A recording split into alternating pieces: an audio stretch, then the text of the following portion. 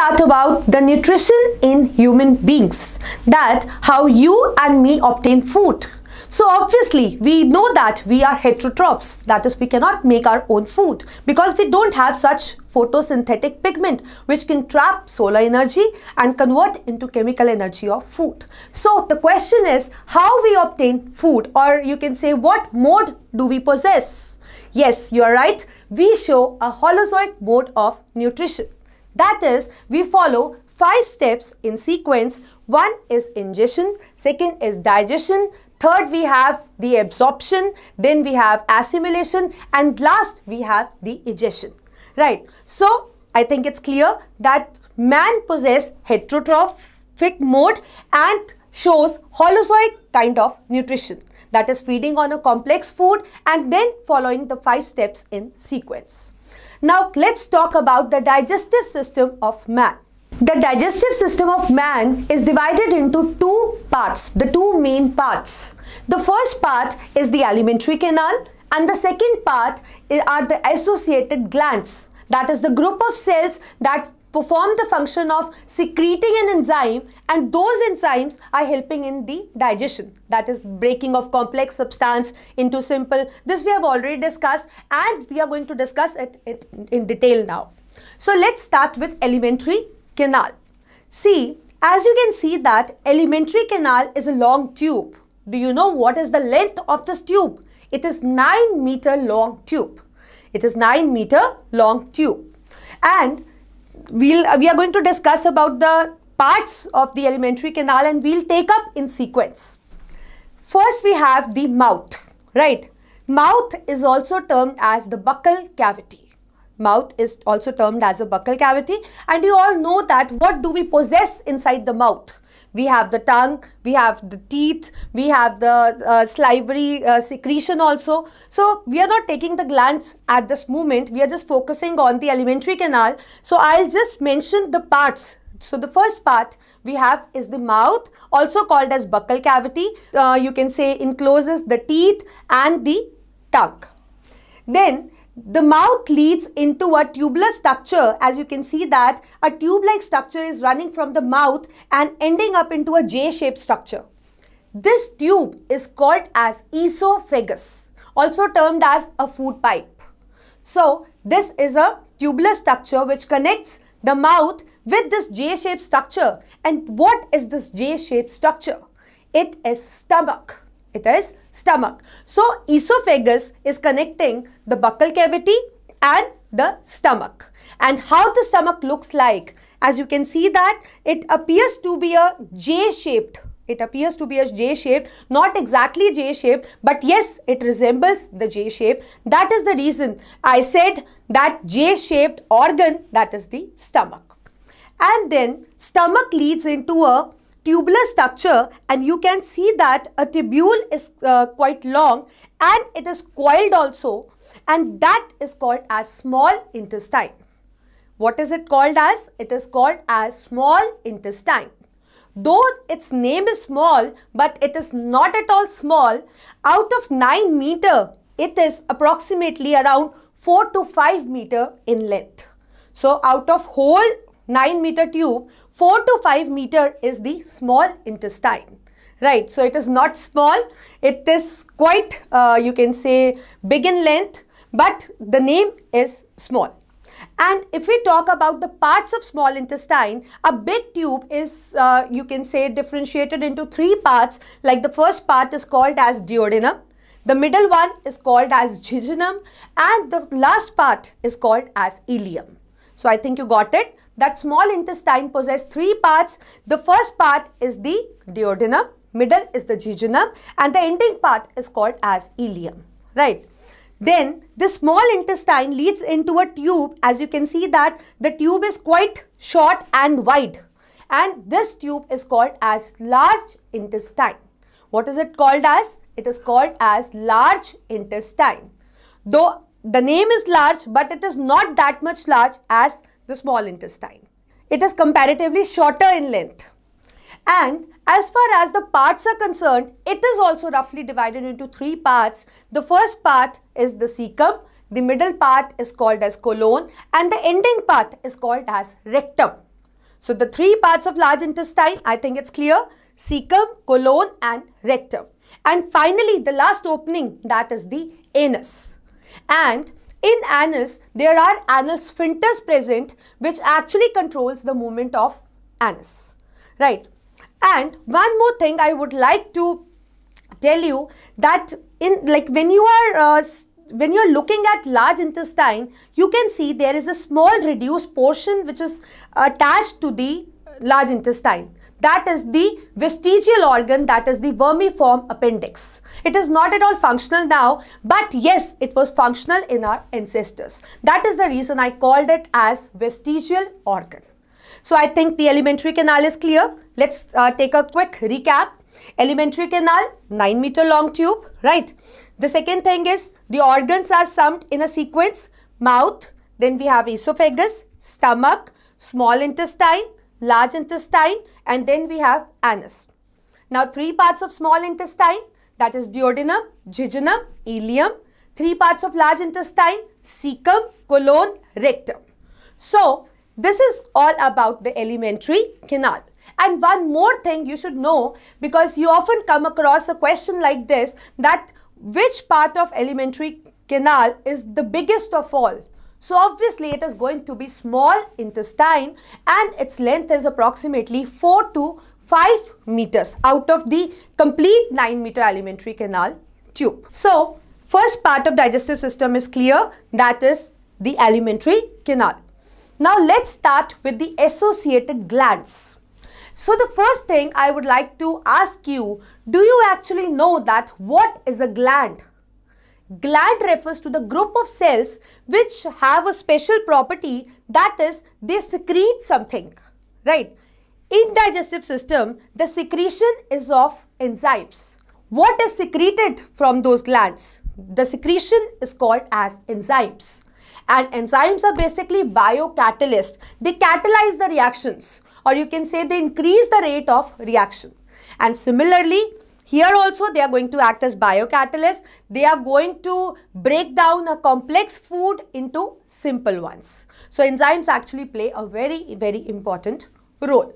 Now let's take up the glands in order of their occurrence that where they are present, what they are secreting and what kind of function the enzyme is doing. So the first gland is the salivary gland. As you can see in the figure that salivary gland is present in mouth. There are basically three types of salivary glands. One is the parotid, other is the submaxillary and third is the sublingual. All the salivary glands, they produce salivary amylase. So basically the enzyme that they secrete is called as salivary amylase. Also we can call it as ptyalin. And what is the function of salivary amylase? It acts on a nutrient that is a carbohydrate. Like if you are consuming a potato or something which is rich in carbohydrate, it is going to digest the carbohydrate and it is going to convert the starch into maltose right maltose is not the simplest form of the carbohydrate but still it is initiating the digestion of carbohydrate it starts breaking it into a simpler substance Right. So the first gland, I think it's clear, is the salivary gland. The second gland is present in the stomach. Like as you eat food, so in mouth the salivary gland is present, then the food moves and then it comes to stomach and in stomach there are gastric glands present. Right. In like if you will see the inner section of stomach wall, the stomach wall is not smooth it has certain ridges in it, ridges and grooves in it. So inside those ridges and grooves, there are the gastric glands which are present. So if somebody asks you that where the gastric glands are present, you are going to answer in a way that gastric glands are present in the inner wall of the stomach. Right. Now, what does they do? They secrete gastric juices right? They secrete gastric juices and the main component of gastric juice is the pepsin and the rennin, right? What is the function of pepsin now?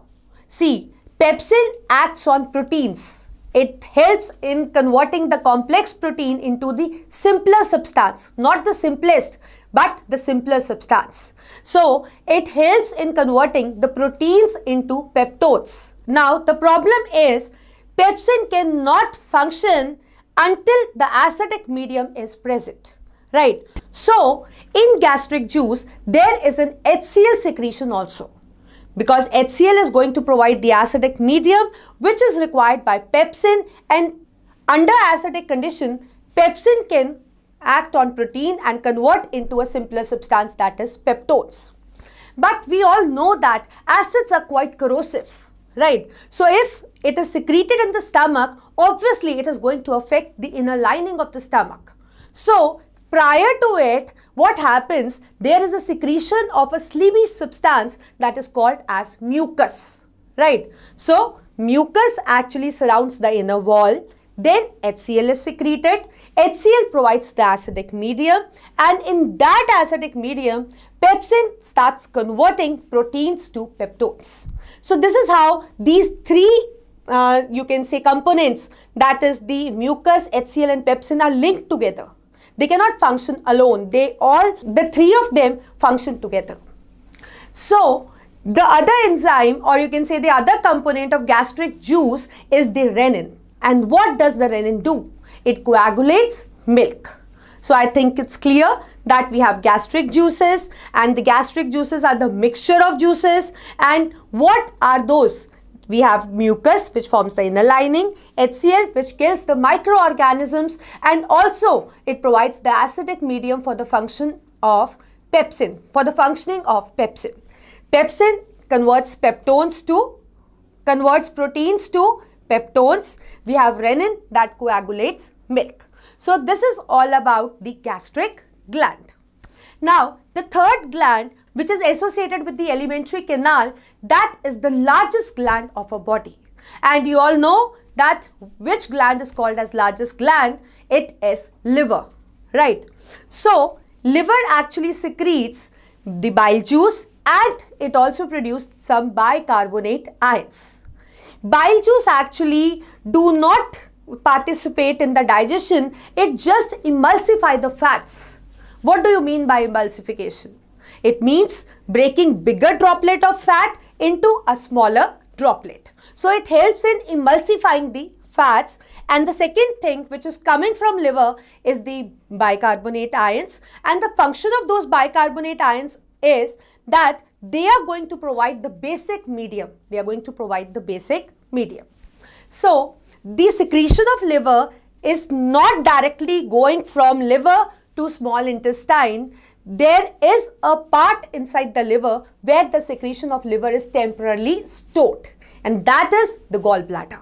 That is the gallbladder. So the liver secretion that is the bile juice and the bicarbonate ions they are stored in the gallbladder and then through a bile duct it reaches to the small intestine. So this is all about the third gland that is the liver. The next gland which food come across is the pancreatic gland. Do you know that pancreatic gland has a special feature that it is exocrine as well as it is endocrine in function. That is, it has the tendency to secrete the enzymes also and it can secrete the hormones also. But now, at this moment, we are discussing about the digestive system. So, obviously, we are going to consider its the exocrine part that is its enzymes. We are going to consider its exocrine function. So, pancreas secrete pancreatic juices which is actually a mixture of three juice. One is pancreatic amylase, other is pancreatic lipase and third is the trypsin, pancreatic trypsin. So, the function of pancreatic amylase, amylase we have already done that salivary amylase. Here all it is here it is pancreatic amylase, but the function is same. They are going to convert the starch, that is the leftover starch, which is not converted by the salivary amylase or if there is some starch left for the conversion, it will convert that starch into maltose. And the trypsin is going to act on the peptones and it is going to convert peptones further into the simpler substance that is the peptides and lipase is going to act on the emulsified fats that is the small droplets of fats and it is going to convert the fat into fatty acid and glycerol. I think you got it. The last gland is the intestinal gland which is present in the wall of ileum that is the last part of small intestine. In ileum, the juice that they secrete or you can say the enzyme that they secrete is the intestinal juice or it is termed as succus entericus. It is actually a mixture of juices. It, it has got the erepsin also, it has got the maltase also, it has the lipase also and these enzymes are going to end up the digestion. That is, they are going to convert the simplest substances into the simplest form. Right. So, all the peptides will get converted into amino acids, all the maltose will get converted into glucose and all the fats is going to convert into fatty acid and glycerol. So, this is how the enzymes are going to act and they are converting the complex substance into the simplest substance or you can say the form in which it can be absorbed by different body cells. So I think you got it. You know about the alimentary canal now. You are aware of the associated glands also.